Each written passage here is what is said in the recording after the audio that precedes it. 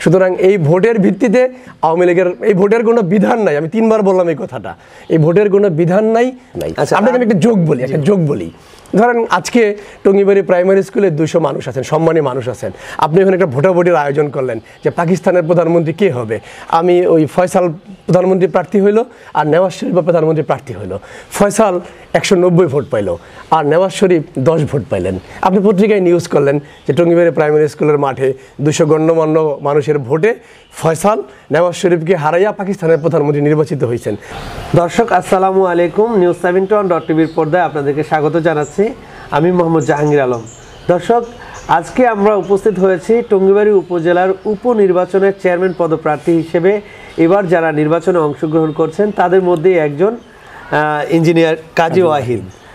যিনি মুন্সিগঞ্জ জেলা আওয়ামী লীগের প্রচার ও প্রকাশনা সম্পাদক এবং সাবেক টঙ্গিবাড়ি উপজেলার চেয়ারম্যান হিসেবেও দায়িত্ব পালন করেছেন। আমরা তার কাছ থেকে শুনব এবারের নির্বাচন নিয়ে তিনি কি ভাবছেন? জি আমরা আপনার কাছ থেকে আমি একটু আপনার কাছ থেকে জানতে চাচ্ছি যে এই আপনাদের আহ, সামনেই উপনির্বাচন অনুষ্ঠিত হচ্ছে সেক্ষেত্রে আসলে নির্বাচন নিয়ে আপনি কি ভাবছেন? আসসালামু আলাইকুম। নির্বাচন দেখেন একটা ছোট্ট সময়ের জন্য এই নির্বাচনটা। মাত্র যিনি উপজেলা চেয়ারম্যান নির্বাচিত হবেন তিনি মাত্র এক বছর, এক মাস দায়িত্ব পালন করবেন। তো এই ছোট সময়ের জন্য অনেক বড় পরিকল্পনা করা বা অনেক বড় কিছুর প্রতিশ্রুতি দেওয়া, ওইটা আসলে বাস্তবসম্মত না।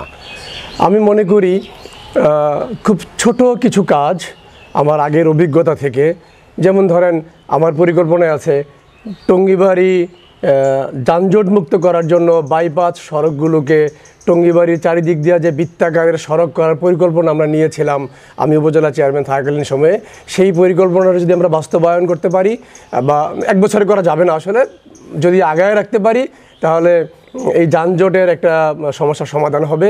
এর বাইরে টঙ্গিবাড়ির দুটা স্থায়ী সমাধান সমস্যা আছে।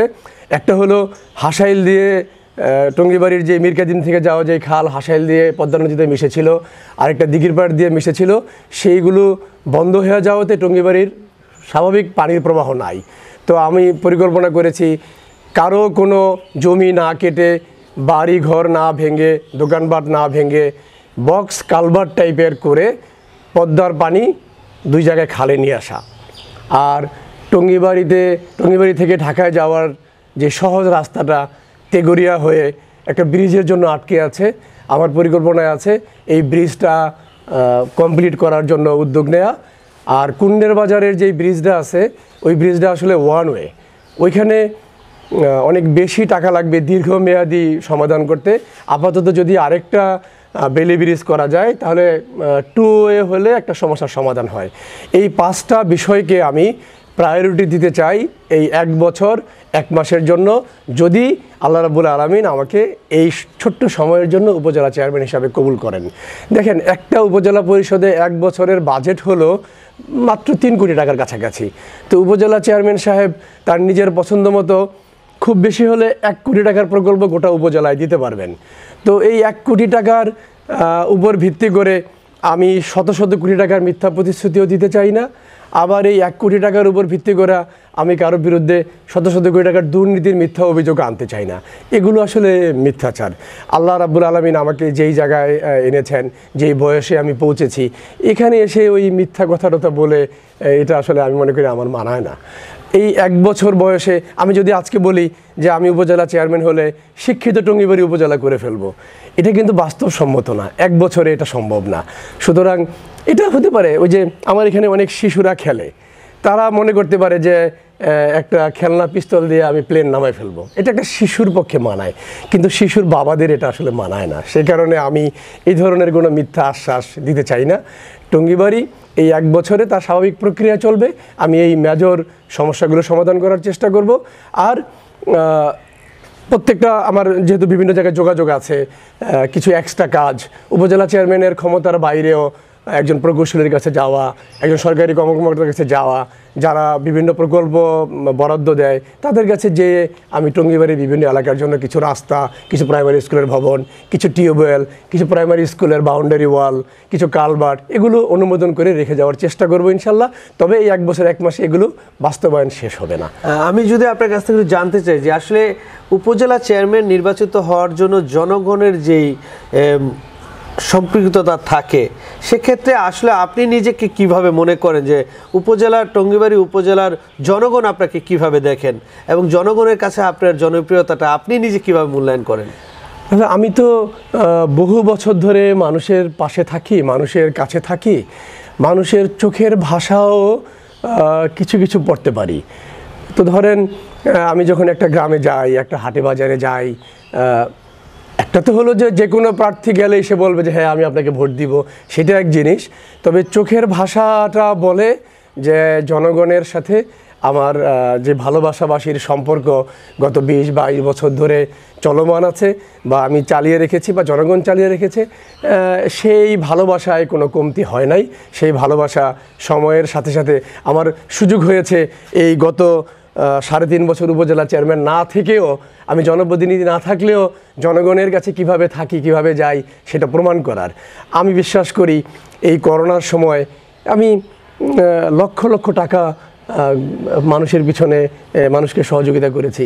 মালয়েশিয়া থেকে মেসেজ পাঠিয়েছে, ভাই আমার ওয়াইফের বাজার নাই, আমি টাকা পাঠাতে পারি না। আমি আমার লোক দিয়ে তার বাসায় বাজার পৌঁছে দিয়েছি। আমি কারও নাম বলতে চাই না, তারা সবাই সম্মানী মানুষ।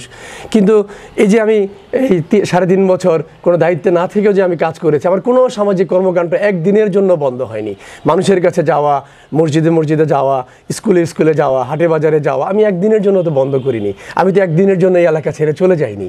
সুতরাং আমি মনে করি, এই সাড়ে তিন বছর ক্ষমতায় না থেকেও আমি আরেকবার প্রমাণ করতে পেরেছি জনগণের কাছে যে আমি আসলে তাদেরই মানুষ।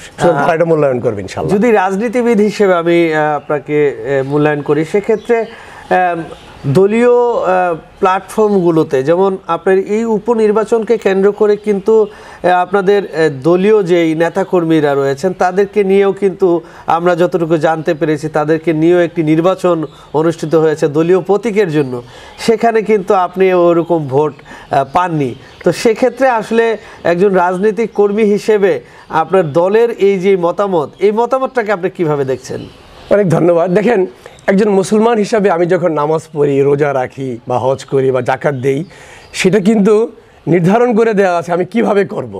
কোরআন এবং হাদিসের আলোকে করতে হবে আবার একটা দেশ, বাংলাদেশ, এই দেশটা কীভাবে চলবে সেটার জন্য কিন্তু একটা সংবিধান, আইন, ধারা বিধি, বিধান নির্ধারণ করা আছে রাজনৈতিক দল হিসাবে বাংলাদেশ আওয়ামী লীগ কীভাবে চলবে কি প্রক্রিয়ায় তার স্থানীয় সরকার নির্বাচনে, ইউনিয়ন পরিষদ নির্বাচনে, উপজেলা পরিষদ নির্বাচনে কিংবা সিটি কর্পোরেশন নির্বাচনে, পৌরসভা নির্বাচনে দল মনোনয়ন দিবে, তারও প্রক্রিয়া আওয়ামী লীগের নির্ধারণ করা আছে। সেটা আওয়ামী লীগের গঠনতন্ত্রে এবং ঘোষণাপত্রে আছে। সেখানে কিন্তু বলা আছে যে আওয়ামী লীগের মনোনয়ন কীভাবে হবে? আওয়ামী লীগের মনোনয়ন প্রক্রিয়া হচ্ছে উপজেলা আওয়ামী লীগ, ইউনিয়ন আওয়ামী লীগের সভাপতি সাধারণ সম্পাদক, ওয়ার্ড আওয়ামী লীগের সভাপতি সাধারণ সম্পাদকদেরকে নিয়ে বর্ধিত সভা করবে। আলোচনার ভিত্তিতে কমপক্ষে তিনজনের নামের তালিকা পাঠাবে। সেখানে কিন্তু ভোটাভুটির কোনো বিধান নাই। এবং এই মন একটা ভোটাভুটি যে হবে, আমি যে একজন প্রার্থী, আমাকে যে আগে জানানো হবে যে কালকে এমন ভোট, এটাও কিন্তু হয় নাই। কারণ আমি জানি যে প্রথমত ভোটাভুটির কোনো বিধান নাই। আর যদি মতামত নিতে হয়, তাহলে তো ওয়ার্ড আওয়ামী লীগের সভাপতি, সাধারণ সম্পাদকদের সহই মতামত নিতে হবে। তো সেটা যদি না হয়, তাহলে এটা তো গঠনতন্ত্রের পুরোপুরি মানা হলো না। এই যে আওয়ামী লীগের যে মনোনয়ন প্রক্রিয়া, সেখানে কিন্তু এই ধরনের ভোটাভুটির কোনো বিধান নাই এবং এই ধরনের ভোটাভুটির কোনো মূল্যায়নও নাই। এই ধরনের ভোটাভুটির ফলাফল কেউ তাকায়ও দেখে না। কারণ এভাবে তো ভোট করতে বলা হয় নাই। বলা হয়েছে, আমি আবার বলি, উপজেলা আওয়ামী লীগ, ইউনিয়ন আওয়ামী লীগের সভাপতি সাধারণ সম্পাদক, ওয়ার্ড আওয়ামী লীগের সভাপতি সাধারণ সম্পাদকরা আলোচনার ভিত্তিতে তিনজনের নাম পাঠাবে। এই না এই তারপরে যে ভোটাভুটি করেছে সেটা কিন্তু কে মনোনয়ন পাবে এটা নির্ধারণ করার জন্য না। কার নাম এক নম্বরে দিবে। প্রস্তাবে যাবে প্রস্তাবে যাবে। তো আমি মনে করেছিলাম আগে আমার সাথে যখন আলোচনা আলোচনার জন্য আমাকে যেতে বলা হয় আমাকে অফিসিয়ালি যেতেও বলা হয়নি আমি আসলে খবর পেয়ে গেছি। যারা এই আর আয়োজন করেছেন আয়োজকরা কেউ কিন্তু আমাকে অফিসিয়ালি দাওয়াতও করেনি যে আপনি এখানে থাকেন আমি শুনেছি যে এমন কিছু একটা হইব তো আমি ওখানে গিয়েছি। আমি কিন্তু আমার পক্ষে নাম প্রস্তাব করার জন্য কাউকে বলে নিয়ে যাইনি। তো আমার কিন্তু ধারণা ছিল না যে এমন ভোটাভুটি হবে। আমাকে এটা বলা হয় নাই, আর ভোটাভুটির বিধানও নাই। আমি ধরে নিয়েছিলাম যে আলাপ আলোচনার ভিত্তিতে যদি নাম পাঠানো হয়, বিগত বিগত দিনে ইউনিয়ন পরিষদের নির্বাচনে যখন নাম পাঠানো হয়েছে, ওইখানে আমি দেখেছি যারা আগে নৌকা পেয়েছিলেন কিংবা যারা সাবেক চেয়ারম্যান, তাদের নাম এক নম্বরে দিয়েছে। তো আমি মনে করেছিলাম এখানেও তাই করা হবে। এখানে যেমন ভোটাভুটির কোনো আয়োজন করবে, এটাই তো আমাকে জানানো হয় নাই। আর এই ভোটাভুটির আওয়ামী লীগের গঠনতন্ত্র ঘোষণাপত্র অনুযায়ী কোনো এটা কোনো এটাকে মূল্যায়ন করার কোনো সুযোগ নাই। আচ্ছা, আপনাকে আমি একটা যোগ বলি একটা যোগ বলি। ধরেন আজকে টঙ্গিবাড়ি প্রাইমারি স্কুলে দুশো মানুষ আছেন সম্মানী মানুষ আছেন। আপনি ওখানে একটা ভোটাভুটির আয়োজন করলেন যে পাকিস্তানের প্রধানমন্ত্রী কে হবে? আমি ওই ফয়সাল প্রধানমন্ত্রী প্রার্থী হইল আর নেওয়াজ শরীফ প্রধানমন্ত্রী প্রার্থী হইল। ফয়সাল একশো নব্বই ভোট পাইলো আর নেওয়াজ শরীফ দশ ভোট পাইলেন। আপনি পত্রিকায় নিউজ করলেন যে টঙ্গিবাড়ি প্রাইমারি স্কুলের মাঠে দুশো গণ্যমান্য মানুষের ভোটে ফয়সাল নেওয়াজ শরীফকে হারাইয়া পাকিস্তানের প্রধানমন্ত্রী নির্বাচিত হয়েছেন উনি কি পাকিস্তানের প্রধানমন্ত্রী হইতে পারলেন? না। এটা মানে বলা যায় একইভাবে এখান থেকে যেভাবে যে ভোটাভুটিটা করা হয়েছে, যারা ভোট দিয়েছেন তারাও কিন্তু ভোটাভুটি চান নাই। তারাও বলেছেন যে এই ভোটাভুটি করার দরকার নাই। সুতরাং এই ভোটের ভিত্তিতে আওয়ামী লীগের, এই ভোটের কোনো বিধান নাই। আমি তিনবার বললাম এই কথাটা। এই ভোটের কোনো বিধান নাই, ভোটের কথা কোথাও বলা নাই। আর ভোট করতে হলে তো আপনাকে ইউনিয়ন আওয়ামী লীগের সভাপতি, ওয়ার্ড আওয়ামী লীগের সভাপতি সবাইকে দাওয়াত করতে হবে। প্রার্থীদেরকে আগে বলতে হবে যে কালকে ভোটাভুটি তোমার বা পরশু তোমার ভোটাভুটি তুমি প্রস্তুতি নিয়ে আইসো। সুতরাং এই- এই ভোট আসলে কোনো বিষয় দলীয় প্রতীক পাওয়ার ক্ষেত্রে আসলে আপনি নিজের সক্ষমতাটা কি মনে করছেন? দল আপনাকে নৌকা প্রতীকটা আসলে বরাদ্দ দিবে আসলে জননেত্রী শেখ হাসিনার নেতৃত্বে আঠারো সদস্য বিশিষ্ট যে মনোনয়ন বোর্ড মনোনয়নের সিদ্ধান্ত নেন তারা যাদেরকে মনোনয়ন দিবেন, তাদের ব্যক্তিগত গ্রহণযোগ্যতা, তাদের সামাজিক কর্মকাণ্ড, তাদের রাজনৈতিক অভিজ্ঞতা, তাদের জনপ্রিয়তা, এগুলো সব কিছু বিচার বিশ্লেষণ করে তাদের যে সূত্র আছে, তাদের যে নেটওয়ার্ক আছে, তাদের যে ওয়ে আছে, সেখান থেকে তারা এগুলোর খোঁজ খবর নেয়। তো আমি মনে করি, তারা যদি টঙ্গিবাড়ি থেকে খোঁজ খবর নেয়, নিশ্চয়ই তারা ইনশাল্লাহ আমার সম্পর্কে ভালো মতামত পাবেন এবং তারা আমাকে মনোনয়ন দিবেন ইনশাল্লাহ যদি আপনি নৌকা প্রতীকে মনোনীত না হন, সেক্ষেত্রে আসলে আপনার স্বতন্ত্রে নির্বাচন করার কোনো ধরনের চিন্তা ভাবনা আছে না, দেখেন, আজকে তো আমি একজন প্রৌঢ় মানুষ, বৃদ্ধ হওয়ার দিকে যাচ্ছি। আপনার মনে থাকার কথা, বত্রিশ বছরের যুবক হ্যান্ডসাম ইয়াং যুবক কাজী ওয়াহিদ এদেশের মাঠে ময়দানে ঘুরেছে নৌকার কথা বলার জন্য, নৌকার প্রচারণা চালানোর জন্য জননীতি শেখ হাসিনা প্রচারণা চালানোর জন্য।